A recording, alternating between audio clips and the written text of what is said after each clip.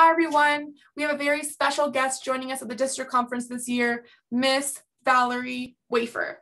If that name doesn't ring a bell, let me help you.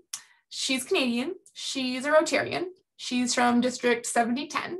She's a member of a Rotary Club in Collingwood, Ontario. She's one of 14 elected board members for Rotary International. And drumroll, please, starting in July, she will be the vice president of Rotary International. And yes, she's coming to our district conference.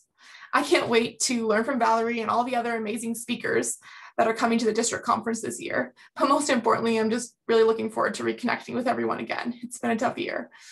Other than that, I will be joining Valarie to talk to you about the power of Rotary and how the world benefits from having Rotary in our lives, historically, now, and into the future, especially as we navigate this new world.